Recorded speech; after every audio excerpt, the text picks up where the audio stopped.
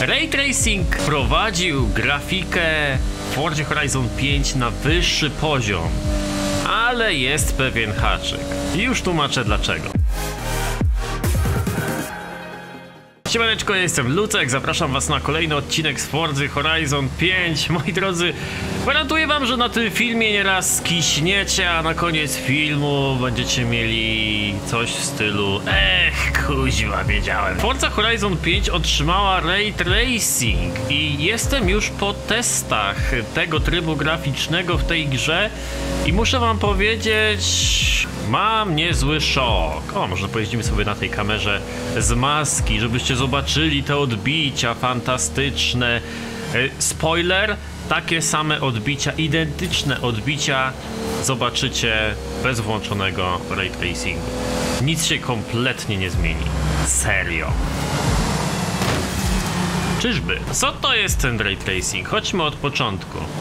To technika renderowania grafiki w taki sposób, aby wytworzyć realistyczną symulację zachowania światła. Te technologia podąża ścieżką oświetlenia i definiuje sposób, w jaki oddziaływuje z elementami otoczenia świata wirtualnego.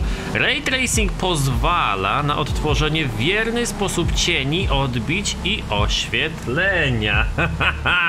Oj, Mówię wam, skiśniecie. Dobra, zaczynamy od początku, więc w Fordzie, w ogóle zaczniemy od tych takich pozytywnych rzeczy, jeśli chodzi o ray tracing w Fordzie.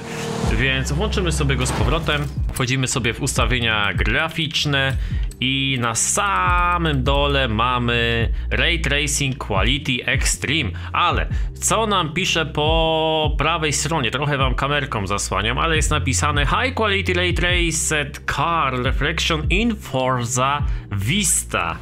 To nie jest aktualny opis tego ustawienia, bo po ostatnim update'cie działa to również w jeździe dowolnej. I teraz na ekranie widzicie poszczególne ustawienia tej, tego trybu tutaj na dole i co on zmienia w poszczególnych etapach jakby gry. Tu mamy, o tego nie używałem jeszcze, Basic to improve image quality. I tutaj możemy sobie wybrać albo to, albo to. to ta funkcja TAA, czyli Temporal Anti-Aliasing, coś tam, coś tam, to jest funkcja eksperymentalna. Ona jeszcze może nie zbyt dobrze działać, dlatego ja Wam polecam używać NVIDIA DLAA, czyli to generalnie wygładza krawędzie. No, daje taki fajny, miękki obraz gdzieś tam na krawędziach. Bardzo fajna opcja i polecam z tego korzystać. Um, Dobra, więc włączyliśmy sobie teraz ray tracing i tak, same odbicia w samochodzie, w ogóle ciężko wam będzie dostrzec różnicę na pierwszy rzut oka. A żeby wam to uzmysłowić, to puszczę wam teraz klipy z ray tracingiem i bez ray tracingu i spróbujcie zgadnąć, który klip jest z, a który bez śledzenia promieni.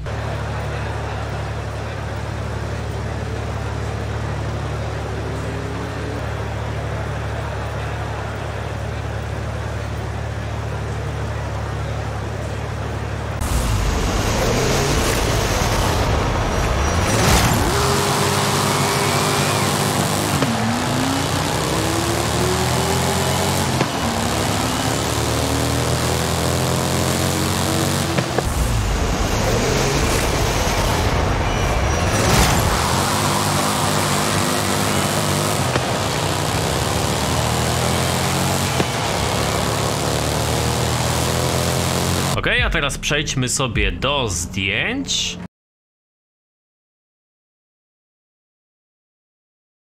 Zobaczcie sobie, tutaj mamy porównanie e, takich ujęć. Teraz już wam pokazuję, co jest z włączonym ray tracingiem, a co bez ray tracingu.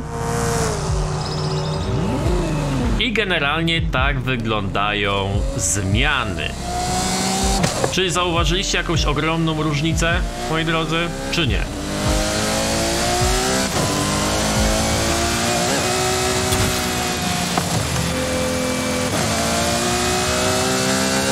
Okej. Okay. No to teraz pokażę wam, jak wygląda sytuacja z tej zajebistej strony, z tej naprawdę mega, mega fajnej strony.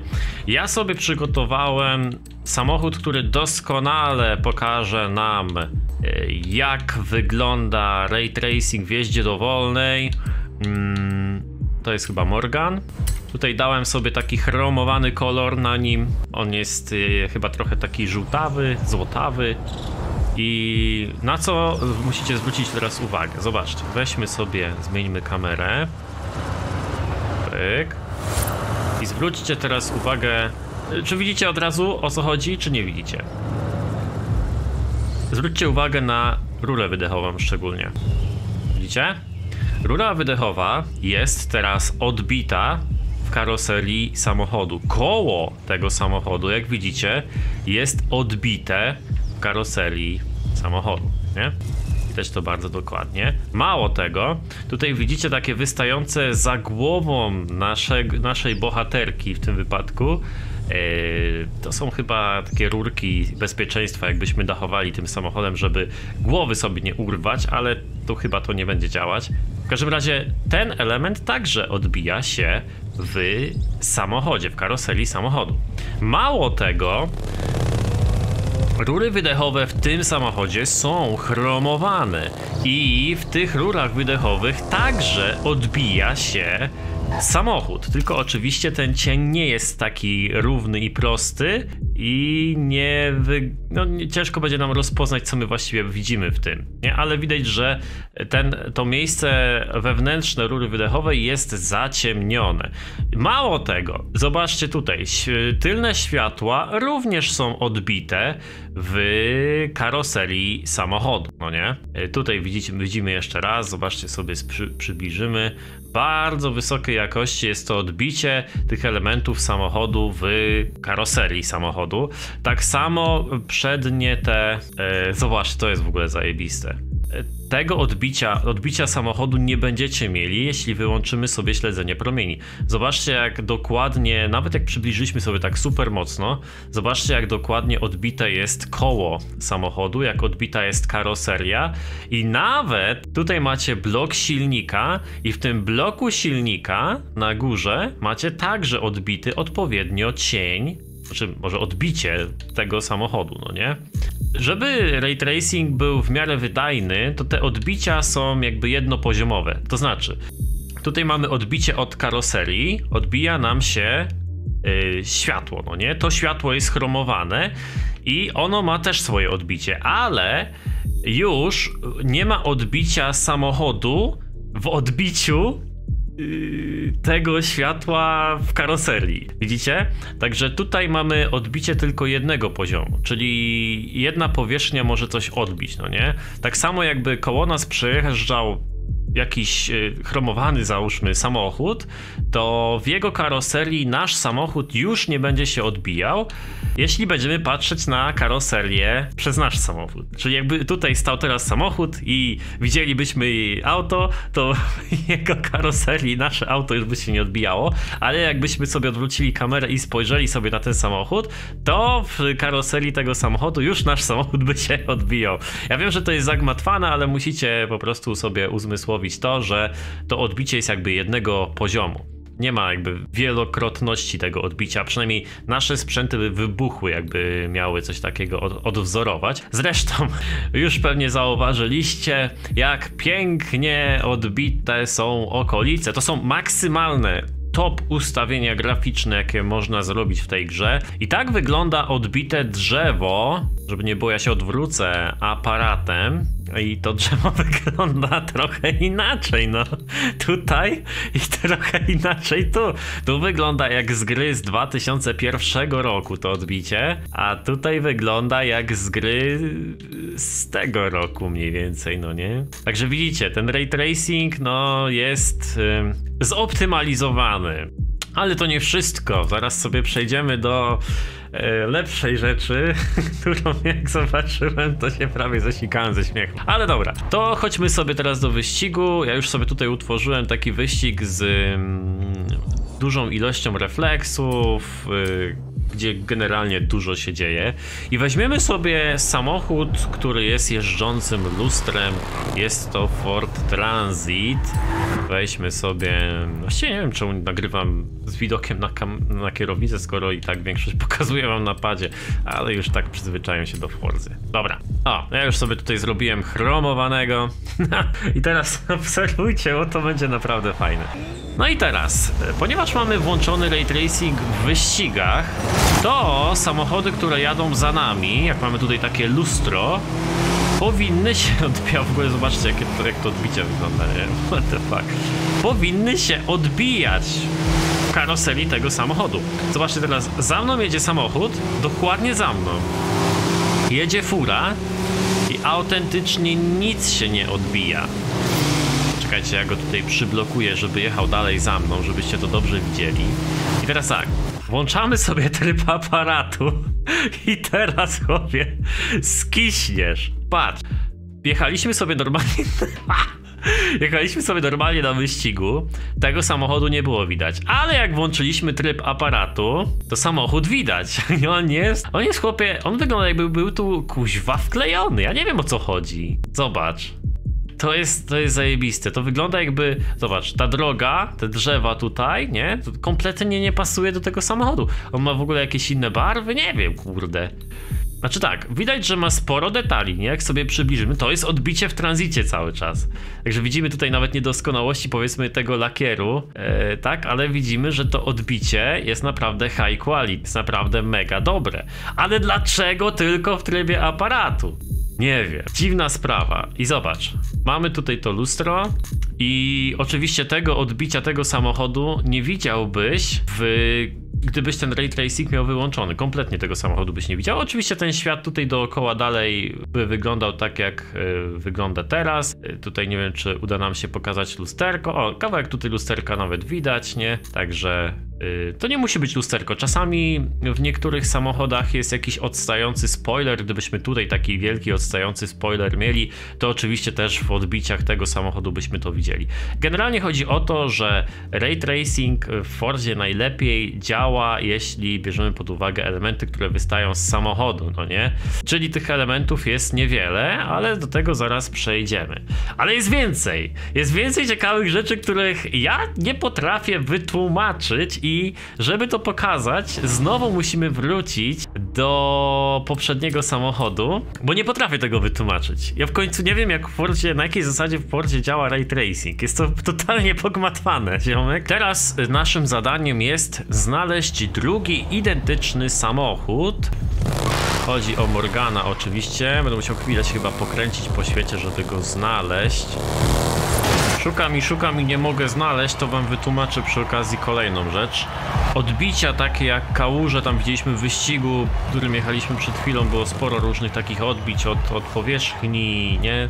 One kompletnie nie mają wpływu na to, jak będzie wyglądać odbicie twojego samochodu. Żeby wam to udowodnić, zrobiłem nawet zdjęcie z gry, z ray tracingiem i bez ray tracingu i kompletnie nie ma to wpływu na to, co będziecie widzieć. Tutaj chodzi tylko i wyłącznie o odbicie samochodu. Wiem, że głupie to jest, no ale bez ray tracingu samochód, odbicie samochodu na dole jest dokładnie takie samo. Po prostu twórcy tej gry zrobili dosyć dobrą robotę, jeśli chodzi o odbicia i kompletnie nie ma to znaczenia, tak? Ale tutaj też widzicie przy okazji, że lusterko na przykład widać, zresztą pokazywałem wam tego Morgana. Kurde, muszę znaleźć takiego drugiego, bo bardzo śmieszna sprawa jest z odbiciem e, samochodu. Yy, musi to być auto, które nie ma dachu najlepiej, żebyście dobrze widzieli o co chodzi. Okej, okay, musiałem odpalić wyścig, mam nadzieję, że tutaj też to będzie widoczne. Mam nadzieję, że uda mi się uzyskać ten sam efekt, co wcześniej w jeździe dowolnej, jak to sobie wszystko testowałem. Swoją drogą jest to ten sam wyścig z tymi fajnymi refleksami. Zresztą e, te odbicia w samochodzie tych elementów wyglądają przecudnie i to jest ogromny plus, ale podjedziemy sobie tutaj do tego autka tak żeby było go widać w refleksie. Akurat tutaj może być i nawet ten. Teraz tak, yy, widzicie, że odbicie tego samochodu jest. Jest ten samochód.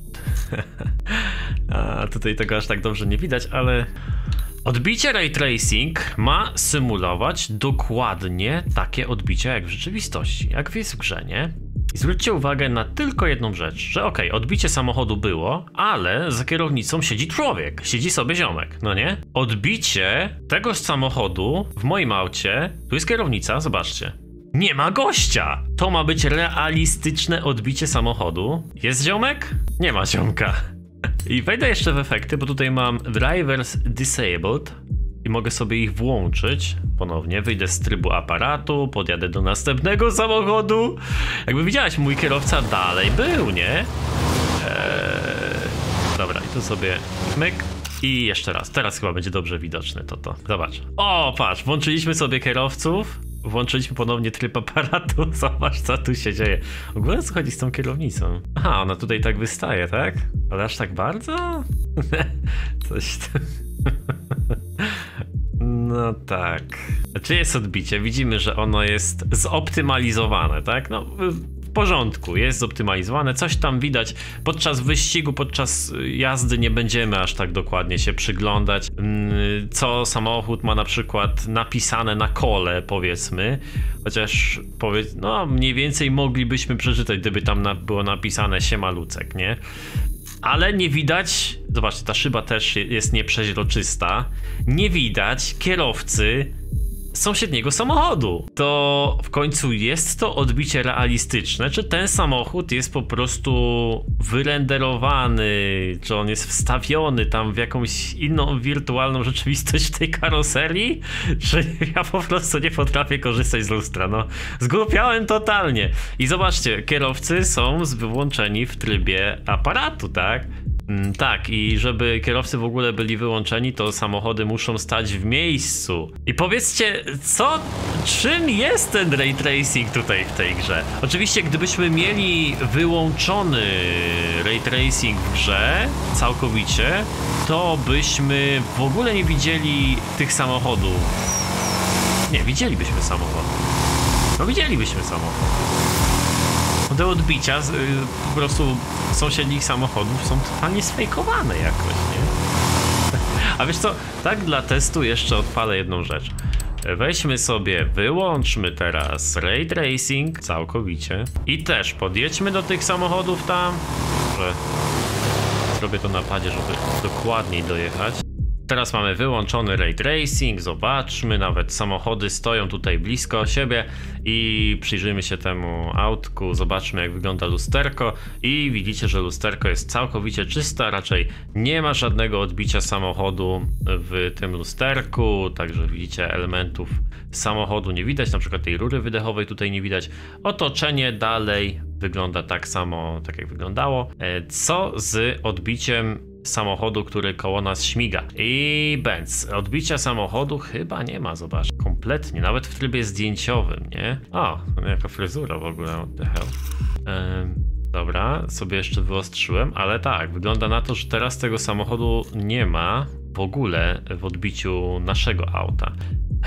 No dobra. Jeszcze sobie odjadę kawałek dalej tego auta i spróbujemy teraz to sprawdzić, bo wtedy nie mogłem tak bezpośrednio. Ale nie, nie ma, nie ma tego samochodu, ok. Czyli ten ray tracing no, działa mega dziwnie w tej grze. Naprawdę. Zobaczcie, i tu, y, tak wracając do tych odbić w ziemi, nie? Zobaczcie, co się w ogóle dzieje, jak patrzcie na tamten samochód, na tamte odbicie i patrzcie, co się dzieje, jak zjeżdżam kamerą w dół.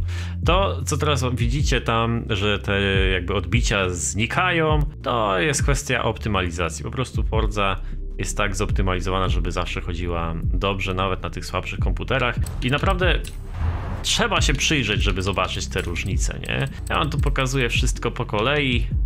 Śmiejemy się z tego razem, mam nadzieję. Jest to wszystko śmieszne. Dobra, włączamy tryb aparatu ponownie i tutaj widzimy, że rura wydechowa się pojawiła. Pojawiły się dwa samochody bez kierowców. Yy, I tu jeśli chodzi o te odbicia, no to widzimy, że dalej robi się. Patrzcie na to, to odbicie tutaj, nie? Widzimy, że dalej robi się to samo, czyli to odbicie pod pewnym kątem po prostu zaczyna nam znikać. No myślę, że to jest kwestia optymalizacji. Jeśli yy, zainstalujecie sobie Assetto Corse, to tam praktycznie modyfikacje graficzne nie mają żadnej optymalizacji i właściwie w każdym momencie gry macie taki sam obraz, nawet samochód, który jest oddalony o 1000 km, nie? Od ciebie. Nie no, śmieję się. Jakaś tam optymalizacja zawsze jest, ale nie taka jak tutaj w Fordzie. Tutaj kwestia jest tego, że ta gra jest też optymalizowana na wiele urządzeń, tym, w tym tych słabszych Xboxów typu Xbox Series S, no nie? E, tak, więc tak to wygląda. No i znowu, te odbicia tutaj w ziemi nie mają żadnego znaczenia, ale właśnie, co z odbiciami w samochodach, które nam towarzyszą. I zobaczcie, tutaj znowu te odbicia już ładnie widać, prawda? W tym lusterku tego samochodu, także bardzo fajnie. I pewnie gdyby ta karoseria była nieco większa i bardziej błyszcząca może, no to byśmy widzieli też odbicie naszego samochodu, ale już nie widzielibyśmy w odbiciu tego samochodu odbicie w odbiciu mojej karoserii e, tego samochodu, nie? Czyli tego podwójnego odbicia. No dobra, no i teraz y, przechodzimy do podsumowania. Podsiula nam ten ray tracing w takim razie, się zastanawiamy, nie? Do czego nam to potrzebne? Jak myśli? No to już wam pokazuję. Ten, ten samochód akurat był taki dość dość ciekawy, jeśli chodzi o te elementy, które z niego wystawają i tak dalej. Ale weźmy sobie na przykład takie dziwadło. To jest Ford GT z 17 roku. I tutaj widzimy, co się dzieje. Te wnętrza, wloty powietrza w, momencie, kiedy nie mamy włączonego ray tracingu, są totalnie fejkowane. Tutaj te cienie, to w jaki sposób światło zachowuje się we wnętrzach tych wlotów, jest y, fejkowane. Tam jest po prostu trochę ciemniej, i tyle, no nie? Teraz, jak mamy włączony ten ray tracing, to taki samochód, który ma dużo takich skomplikowanych e, kształtów, będzie wyglądał po prostu lepiej, będzie wyglądał bardziej realistycznie niż w przypadku takich odbić nie ray tracingowych, nie?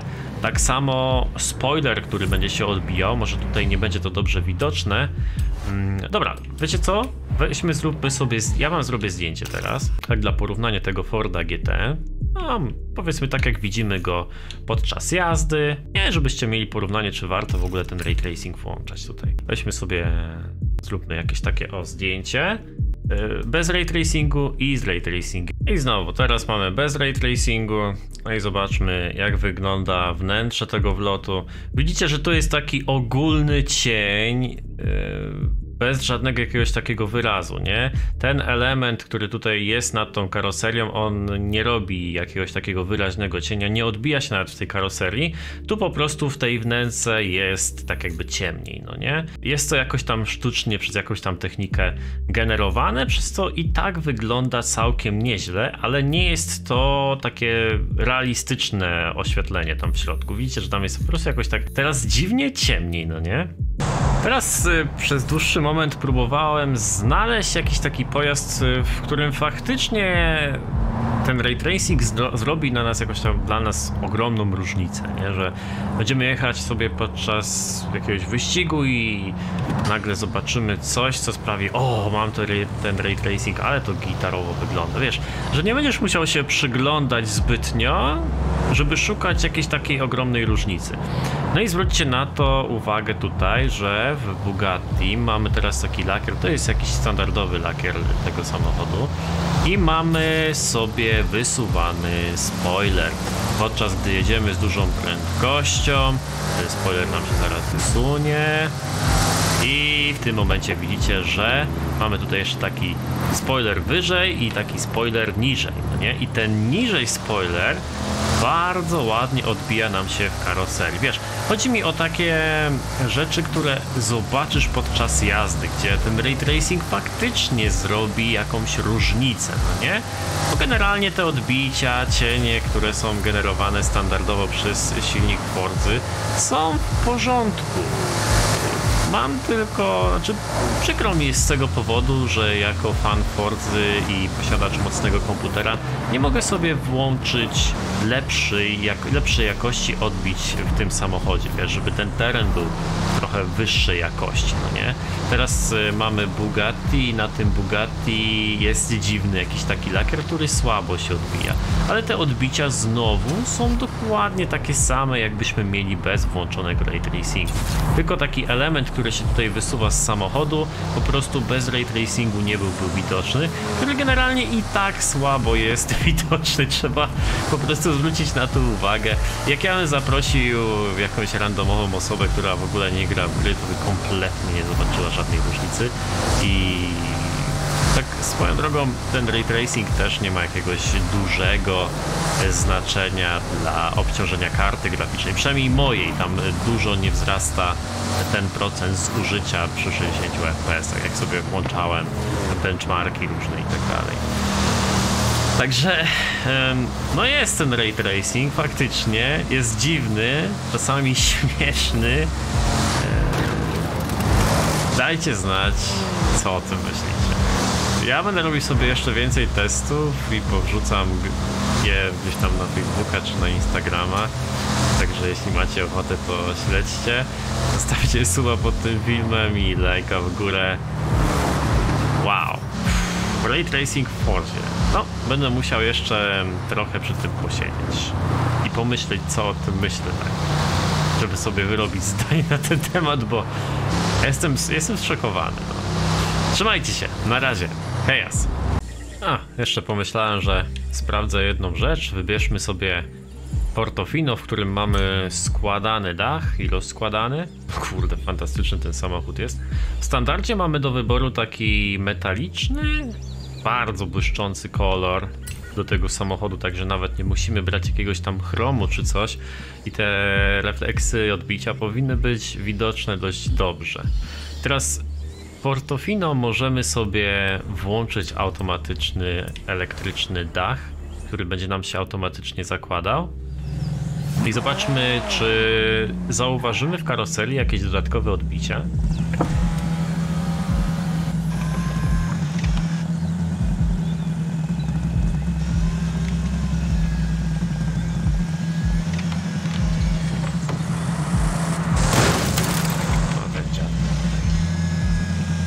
Okej, widać. Widać było, że w tej tylnej, części od bagażnika ten dach się przez chwilę jakby zakłada. No, jak masz w samochodzie taką mniej błyszczącą karoserię, nawet ciężko jest dojrzeć te odbicia tych zewnętrznych elementów, tak jak tutaj tego zagłówka nazwijmy to, nie? Ledwo co widać e, odbicie tego, wiesz, tak podczas normalnego grania, bez przyglądania się w trybie aparatu czy coś. O, tutaj mamy pick-upa z lustrem na pace i ładnie na przykład widać kabinę tego samochodu. No nie? Się odbija. Widać naprawdę fajnie, ale znowu odbicie tego drzewa, zobaczcie tutaj pod kątem, tragedia. Ja pierniczę, to kompletnie psuje ten efekt, nie? Zauważyłem przy okazji jeszcze jedną rzecz. Jak mamy kamerę z kokpitu, to niestety nie ma. Tego odbicia silnika w masce. Zobaczcie, widzicie? Jest tylko odbicie tam dookoła wszystkiego. Jeszcze zobaczę, czy na pewno mam włączone. Tu co chwilę włączam i wyłączam, żeby zobaczyć. Nie no, jest włączone. Wszystko.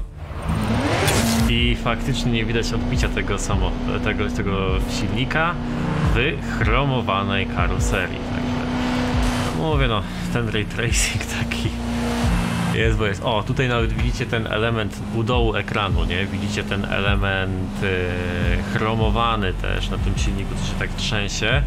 To powinienem widzieć teraz w tym odbiciu yy, kabinę, gdzie siedzi kierowca. Po prostu resztę samochodu powinienem tam widzieć. W tym odbiciu nie ma kompletnie nic. Nie jest takie jakby przydymione. Nie, zobaczcie, dziwne. W sumie jest. Także Powinienem powiedzieć o tym na samym początku filmu, ale przed testowaniem tego ray tracingu tutaj w Fordzie e, zainstalujcie sobie najnowsze sterowniki do waszej karty graficznej, dlatego że e, przed instalacją tych sterowników gra się mi często wysypywała, jak wchodziłem na przykład w tryb fotograficzny z włączonym ray tracingiem, także zaktualizujcie sobie, to jest tylko parę kliknięć.